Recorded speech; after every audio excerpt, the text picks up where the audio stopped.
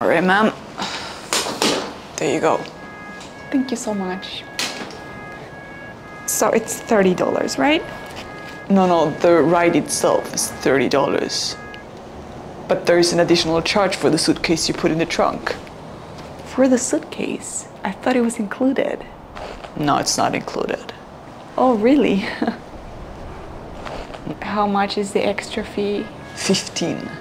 $15 plus 30. Okay, that's 45. 45. There you go. Thank you.